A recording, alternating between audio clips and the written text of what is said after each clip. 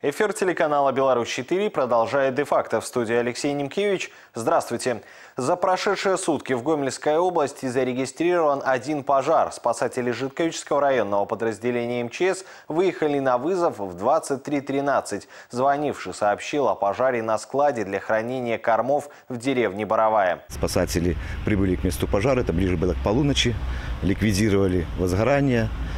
Пострадало всего лишь э, более, чуть более метра въездных ворот и кровли, пострадавших нет. Основная версия рассматривается занос постороннего источника зажигания. Пришел посмотреть мультфильм и попал в ловушку. Помощь посторонних людей понадобилась дошкольнику, который засунул палец в подстаканник в кинотеатре Калинина и самостоятельно освободить его не смог. На помощь ребенку поспешили спасатели Гомельского городского подразделения МЧС. Пришлось повредить кресло, зато палец малолетнего зрителя остался цел. Мальчик четырех лет при просмотре мультфильма в кинозале засунул палец в отверстие пластмассового подстаканника. При помощи кусачки собачек. Спасатели извлекли палец. В медицинской помощи он не нуждается. Всего же за прошедшие сутки семь раз спасатели выезжали на оказание технической помощи.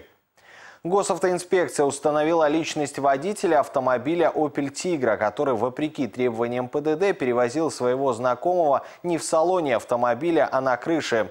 Вот эти кадры, выложенные в сеть интернет 15 июня. В ходе оперативно-розыскных мероприятий водитель был найден уже на следующие сутки. Автомобиль вела женщина 22 лет. Личность парня, который потешил прохожих таким необычным способом и на счастье остался жив, выясняется. В данный момент выясняются все обстоятельства данного инцидента, после э, выяснения которых действием как водителя, так и мужчины, который катался на крыше, будет дана правовая оценка. То есть госавтоинспекция на такие случаи всегда реагирует и привлекает к административной ответственности. Очень важно, чтобы а, граждане, которые становятся очевидцами таких а, случаев, сообщали об этом по телефону 102, либо ближайшее подразделение госавтоинспекции. Возможно, звонок ваш э, сохранит жизнь людям, которые совершают неадекватные поступки. ГАИ Гомельской области продолжает контролировать скоростной режим на самых опасных участках автодорог. Завтра специальные приборы будут ловить лихачей на трассе Н-4090, северо-западный обход Гомеля, М-10, границы Российской Федерации, Гомель-Кобрин, на подъезде к Гомелю на участках автодорог М-8 и М-10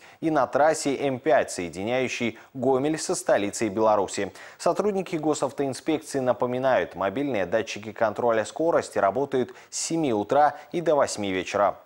Таков обзор происшествий к этому часу. Оставайтесь с нами и берегите себя. Я Алексей Немкевич. Благодарю за внимание. До свидания.